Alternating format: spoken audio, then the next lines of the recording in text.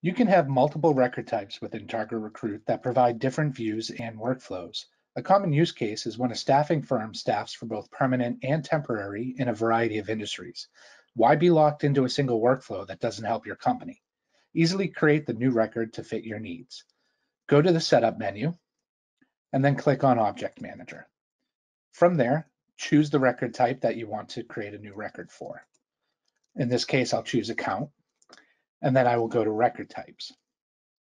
As you can see, I have a handful of records already, but I'm going to create a new one. Choose to leave it as a master record or to mirror the fields from any of the other records. In this case, we'll leave it master. We'll name this field test and then put in a description for future reference so I know what this record is. Be sure to mark it as an active record and then over here, you can choose which profiles will have access to this record. In this case, I'll make everybody have access and I'll click next.